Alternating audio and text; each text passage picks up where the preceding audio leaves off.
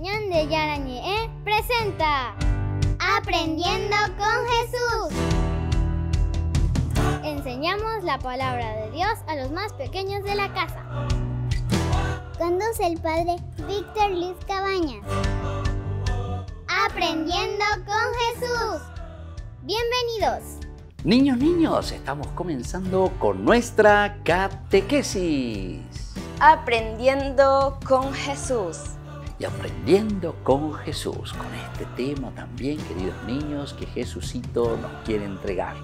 El tema, el tema es tan, tan importante. Volvemos, queridos niños, a concentrarnos y volvemos a repetir este tema que es tan importante. ¿Cuál es entonces, queridos niños, el tema del día de hoy? El tema del día de hoy es liturgia de la Eucaristía. La liturgia de la Eucaristía. Nosotros ya sabemos, porque hemos escuchado tantas veces, ya hemos aprendido con Jesucito, que la palabra liturgia entonces significa celebración.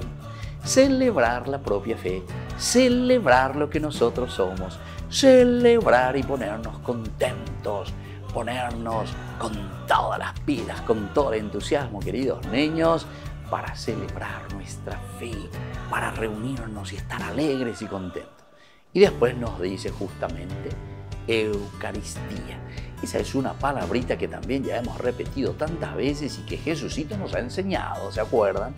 Eucharis es una palabra un poco difícil que viene del griego, niños. Eu, bueno, lindo, maravilloso. Charis quiere decir gracias. Eucaristía quiere decir acción de gracias. Nosotros nos ponemos contentos y le agradecemos a Dios porque Él se queda con su cuerpo y con su sangre en medio de nosotros y nos fortalece, nos ayuda y nos da mucha fuerza para ser buenos, buenos niños, buenos cristianos, honrados, honrados ciudadanos, queridos niños. Bueno, ahora entonces, como siempre, tenemos que estar atentos porque vamos a escuchar en primer lugar la palabra de Dios desde la Biblia. ¿Qué es lo que Jesucito nos quiere enseñar desde la Biblia? ¿Qué es lo que hoy Jesucito nos quiere decir, queridas niñas? A continuación, escucharemos a nuestras compañeritas que nos leerán la palabra de Dios. Lectura del Santo Evangelio según San Lucas. Jesús los llevó hasta cerca de Betania y levantando las manos los bendijo y mientras los bendecía se separó de ellos y fue llevado al cielo. Ellos se postraron delante de él. Después volvieron llenos de gozo a Jerusalén y continuamente estaban en el templo alabando a Dios. Palabra de Dios. Te alabamos, Señor. Y esta es la palabra de Jesús. Como siempre estuvimos atentos, como siempre nosotros nos concentramos, como siempre nosotros le pedimos a Jesucito que nos siga ayudando acompañando y dando mucha fuerza. Yo siempre les invito a ustedes, queridos niños, y no se olviden, tengan, tengan, tengan con ustedes siempre su Biblia para poder acompañar y leer y saber y conocer lo que Jesucito nos va diciendo. Primero, eso. Y segundo, queridos niños, que en la medida en que nosotros leemos la palabra de Dios, después procuramos ponerla en práctica, imitar a Jesús, esforzarnos por hacer lo que Jesús nos manda a través de la Biblia. Muy bien, queridos niños, nosotros vamos a volver enseguida con nuestra catequesis. Aprendiendo con Jesús.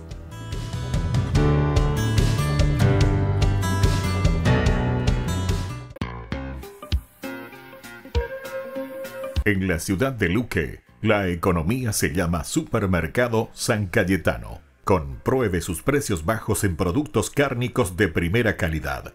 Panificados, verduras, vegetales, frutas, artículos de bazar, ferretería, ropería. Supermercado San Cayetano. Humaitá 168 Casi Capitán Vado, Ciudad de Luque.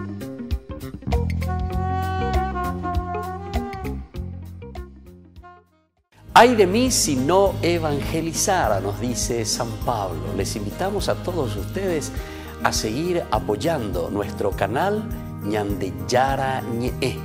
Con soporte podemos llegar a todas las familias a nuestro querido Paraguay. Ñandeyara Ñe. ay de mí si no evangelizara. Hubo señales desde el principio y una profecía. El Señor mismo les dará una señal. He aquí, una virgen concebirá y dará a luz un hijo, y llamarán su nombre Emanuel, que significa Dios con nosotros. ¿Una virgen? ¿Una virgen? Eso es imposible. No para Dios. Envió a un ángel a una ciudad de Galilea, a una virgen.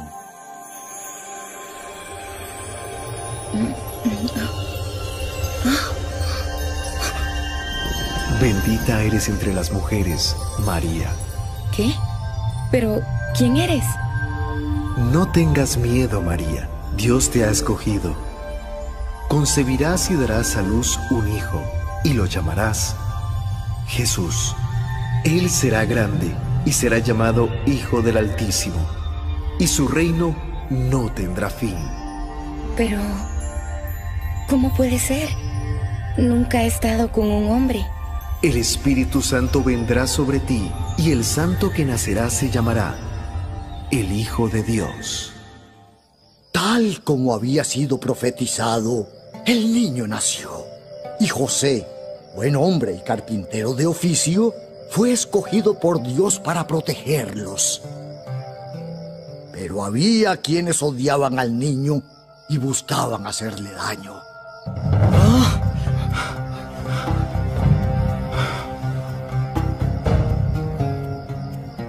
María, date prisa, debemos partir. ¿José?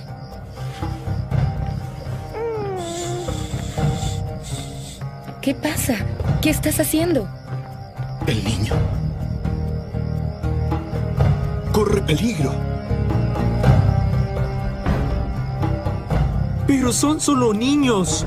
¿Y eso qué tiene? El rey de Israel soy yo. El rey de los judíos soy yo. No compartiré mi reino con nadie más. Pero es solo una profecía. A, a lo mejor está errada. ¿Qué dice exactamente? Pero tú, Belén, pequeña para estar entre las familias de Judá, de ti me saldrá el que gobernará a Israel.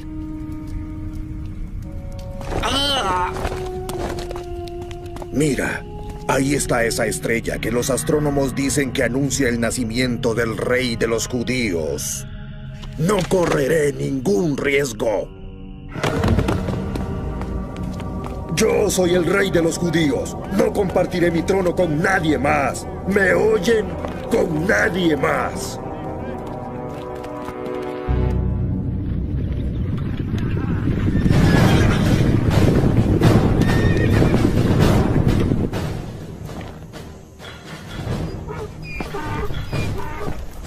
Mi pequeñito, mi pequeño Jesús. Deprisa.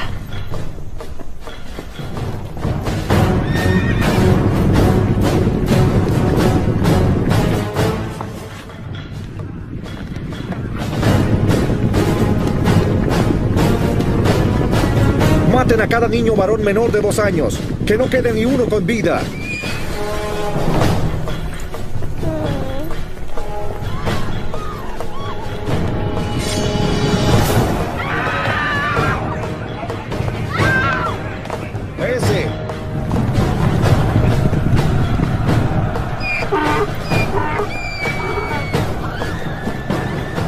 La familia huyó a Egipto y permaneció ahí hasta la muerte del rey Herodes.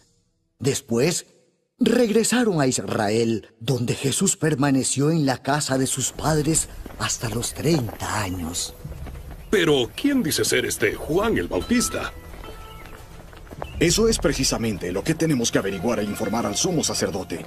Una tira de ignorantes es lo que son, siguiendo a ese fulano. ¡Mírenlos! Deberían estar en el templo y no aquí afuera con este chiflado. Arrepiéntanse, porque el reino del cielo se acerca. Abran camino para la llegada del Señor. Miren, Ahí vienen de nuevo. Sin duda preguntar lo mismo de siempre. Ayúdennos. ¿Qué debemos hacer para ser salvos?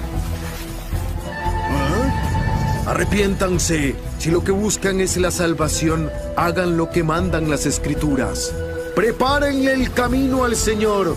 Háganle sendas derechas. ¿Qué deben hacer para ser salvos? Lo que hay que hacer es obedecer las leyes de Moisés y... ¡Raza de víboras! ¿Nosotros? ¡Arrepiéntanse! ¿Te refieres a nosotros? ¿Arrepentirnos?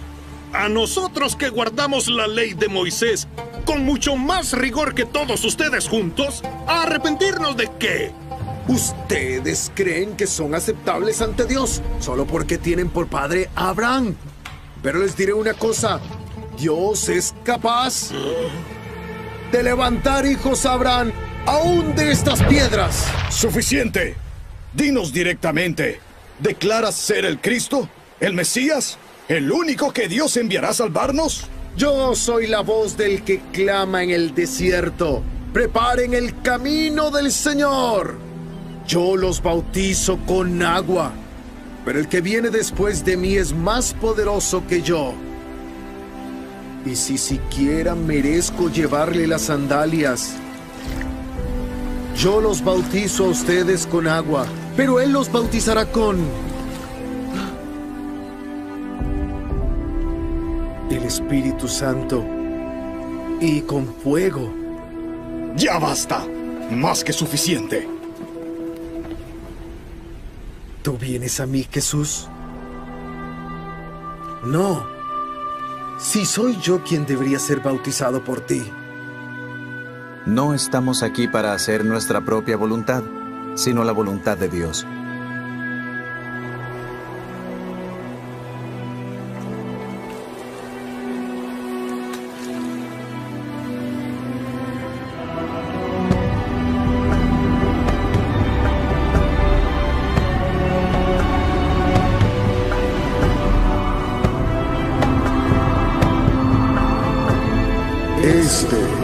Es mi Hijo amado.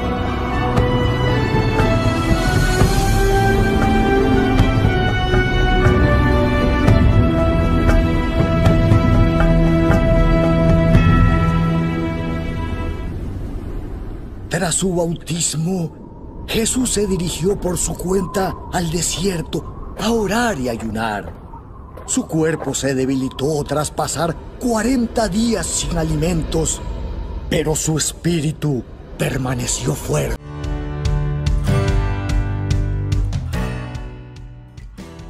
Niños, niños, estamos volviendo con nuestra catequesis del día de hoy. Aprendiendo con Jesús. Y aprendiendo con Jesús, como todos los días que el Señor nos regala lo más lindo, el Señor nos regala esa fuerza, ese entusiasmo, todo lo que nosotros necesitamos para hacer el bien, queridos niños. Qué lindo que es eso. Bueno, con todo esto, queridos niños, ahora nosotros vamos a escuchar de nuevo y vamos a saber cuál es el tema que nosotros hoy estamos aprendiendo con Jesús. El tema del día de hoy es liturgia de la Eucaristía. La liturgia de la Eucaristía, que ya hemos explicado, queridos niños, lo que significa liturgia, celebración, celebración. Y la Eucaristía es de acción de gracias. Nosotros somos agradecidos por las cosas maravillosas que el Señor nos regala siempre. Eso es muy importante, queridos niños, la maravilla de Dios para nuestra vida. Y ahora, queridos niños, vamos a aprender un poco, a ver, por lo menos tres cositas elementales y fundamentales en la liturgia de la Eucaristía. Vamos a estar atentos y vamos a escuchar qué nos enseña hoy Jesucito. Ofertorio. Se presentan el pan y el vino que se van a convertir en el cuerpo y la sangre de Jesucristo, es decir, en la víctima del sacrificio. El ofertorio, entonces, queridos niños, en primer lugar, ahí comienza la liturgia de la Eucaristía. Esta es la segunda partecita de la misa, queridos niños. La primera parte que ya hemos estudiado, que se llama la liturgia de la palabra. En la liturgia de la palabra escuchamos lo que nos dice y lo que nos habla Dios por medio de la Biblia. Terminó la liturgia de la palabra y ahora entramos la segunda partecita de la misa, que es la liturgia de la Eucaristía. Y comienza con el ofertorio. ¿Y qué es lo que hacíamos, queridos niños, con este ofertorio? Presentábamos los dones que Dios mismo nos ofrece, que Dios mismo hace fructificar de la tierra el fruto del trabajo del hombre, pero que Dios nos da a través de la tierra. Ese es el ofertorio. Le ofrecemos a Dios, le damos a Dios lo que Él mismo hizo que germinara en el mundo, en nuestra propia vida. Pero porque somos agradecidos, justamente por eso, el esfuerzo nuestro, nuestra lucha, es lo que al final le traemos como ofertorio al Señor. Seguimos escuchando un poquitito más, queridos niños. Plegaria Eucarística. En el momento principal, el sacerdote dice las palabras de la consagración y el pan y el vino se convierten en el cuerpo y la sangre de Jesucristo. Es el momento del sacrificio, en el que Jesús se hace presente en el altar. La plegaria eucarística, se dan cuenta entonces, esta oración que nosotros hacemos agradeciendo al Señor por todos los beneficios, por todo lo que Él nos regala. Y luego en un momento le pedimos, Señor, regálanos ahora tu presencia. Y entonces la plegaria eucarística, como oración de agradecimiento al mismo tiempo, es esa petición tan importante. Dios que se hace presente en medio de nosotros. Dios que en este memorial, dijimos niños, porque la palabra memorial significa que Dios se hace presente realmente con su cuerpo y con su sangre en medio de cada comunidad, es decir, de cada uno de nosotros que celebramos la Eucaristía. Eso significa el memorial. El memorial no es un simple recuerdo, queridos niños, sino que es la misma presencia de Jesús en medio de su pueblo. Y ahora, queridos niños, vamos a escuchar esta tercera partecita de lo que Jesús hoy nos quiere enseñar. Comunión. La víctima que se ofrece a Dios en sacrificio se da como alimento a los que participan en él. La comunión, queridos niños, es lo que nosotros decimos, la común unión, es decir, nos vamos a recibir su cuerpo y su sangre porque estamos en común unión unión en común con Jesús. Nosotros comulgamos con Jesús, comulgamos con Dios, es decir, nos entendemos muy bien y decimos, sí Señor, lo que tú me pides, yo lo hago. Lo que tú quieres que yo haga, Señor, me esfuerzo por vivirlo. Eso quiere decir entrar en comunión. ¿Por qué nosotros nos vamos a recibir el cuerpo y la sangre de Jesús? porque estamos en común unión con Dios, estamos en comunión con el Señor. Y por eso, queridos niños, cuando estamos en pecado, que quiere decir ruptura, cuando nosotros cortamos esa relación con el Señor, quiere decir que no estamos en común unión. No podemos hacer entonces la comunión, porque si yo hago otras cosas, si yo no pienso y no quiero hacer la voluntad de Dios, no estoy en comunión con Dios. No puedo acercarme a recibir la común unión porque no estamos en comunión. Muy bien, queridos niños, qué lindo que es esto cuando entendemos y sabemos por qué pasamos a comulgar.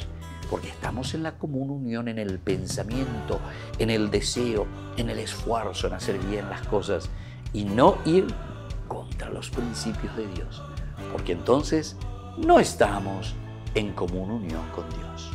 Muy bien, queridos niños, volvemos enseguida con nuestra catequesis. Aprendiendo con Jesús.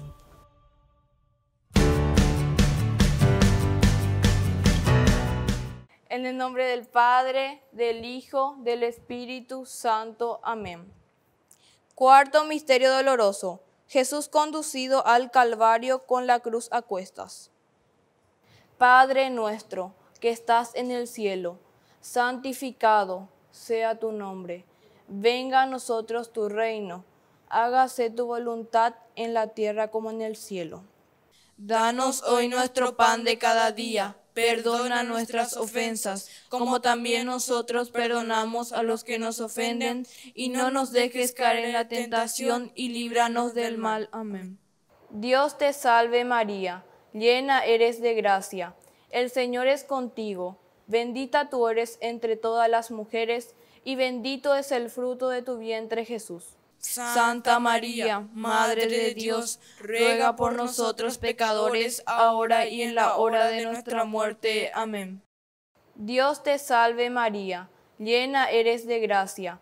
El Señor es contigo. Bendita tú eres entre todas las mujeres, y bendito es el fruto de tu vientre Jesús. Santa María, Madre de Dios, ruega por nosotros pecadores, ahora y en la hora de nuestra muerte. Amén. Dios te salve María, llena eres de gracia. El Señor es contigo. Bendita tú eres entre todas las mujeres, y bendito es el fruto de tu vientre Jesús. Santa María, Madre de Dios, ruega por nosotros pecadores, ahora y en la hora de nuestra muerte. Amén. Dios te salve María, llena eres de gracia. El Señor es contigo.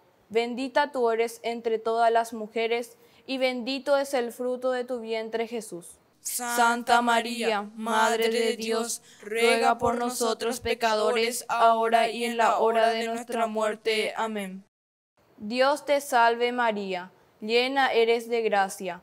El Señor es contigo. Bendita tú eres entre todas las mujeres, y bendito es el fruto de tu vientre Jesús. Santa María, Madre de Dios, ruega por nosotros pecadores, ahora y en la hora de nuestra muerte. Amén. Dios te salve María, llena eres de gracia. El Señor es contigo. Bendita tú eres entre todas las mujeres, y bendito es el fruto de tu vientre Jesús. Santa María, Madre de Dios, ruega por nosotros pecadores, ahora y en la hora de nuestra muerte. Amén. Dios te salve María, llena eres de gracia. El Señor es contigo. Bendita tú eres entre todas las mujeres, y bendito es el fruto de tu vientre Jesús. Santa María, Madre de Dios, ruega por nosotros pecadores, ahora y en la hora de nuestra muerte. Amén. Dios te salve María, llena eres de gracia. El Señor es contigo. Bendita tú eres entre todas las mujeres, y bendito es el fruto de tu vientre Jesús. Santa María, Madre de Dios, ruega por nosotros pecadores, ahora y en la hora de nuestra muerte. Amén. Dios te salve María, llena eres de gracia. El Señor es contigo. Bendita tú eres entre todas las mujeres, y bendito es el fruto de tu vientre Jesús. Santa María, Madre de Dios, ruega por nosotros pecadores, ahora y en la hora de nuestra muerte. Amén. Dios te salve María, llena eres de gracia. El Señor es contigo. Bendita tú eres entre todas las mujeres, y bendito es el fruto de tu vientre Jesús. Santa María, Madre de Dios, ruega por nosotros pecadores, ahora y en la hora de nuestra muerte. Amén. Gloria al Padre, al Hijo y al Espíritu Santo. Como era en el principio, ahora y siempre, por los siglos de los siglos. Amén. En el nombre del Padre, del Hijo, del Espíritu Santo. Amén.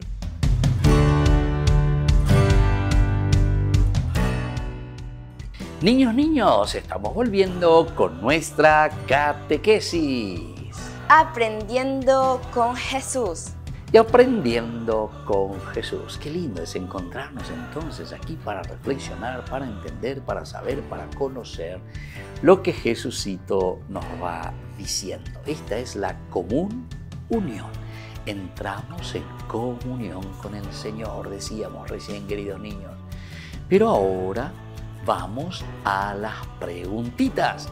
Son tres preguntitas que les voy a hacer a ver si nosotros llegamos a entender, a comprender y si ustedes me pueden responder. Queridos niños, ¿qué es lo que nosotros hacemos en el momento del ofertorio? se presentan el pan y el vino que se van a convertir en el cuerpo y sangre de Jesucristo. Muy bien, queridos niños, se presenta el pan y el vino. El pan y el vino se presentan y se traen aquí ante el altar, ante Jesús. Pero ustedes saben muy bien, queridos niños, cuando presentamos el pan y el vino, lo que nosotros estamos haciendo es justamente presentar los dones que se convertirán en el cuerpo y en la sangre de Jesús. En el cuerpo y en la sangre de Jesús. Qué lindo que es esto, queridos niños. Vamos a pedirle a Jesús que verdaderamente nos ayude.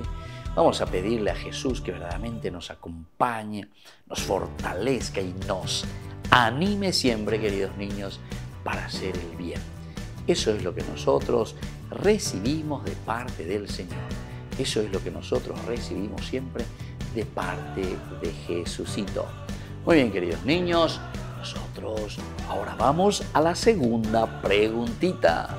¿Qué sucede, queridos niños, cuando el sacerdote durante la plegaria eucarística hace la consagración de los dones del pan y del vino?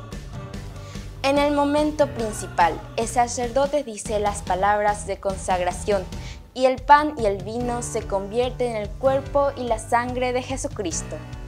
Muy bien, queridos niños, durante la plegaria eucarística se hace la consagración del pan y del vino con la imposición de las manitos del sacerdote, que son las manos de Cristo, que estuvieron ungidas, queridos niños, justamente con el aceite santo de consagración, el sacerdote convierte el pan y el vino nada más y nada menos que en el cuerpo y en la sangre de Jesús. Qué lindo, queridos niños, si nosotros entendemos esto. Es el gesto mayor que nosotros podemos recibir de parte de Dios.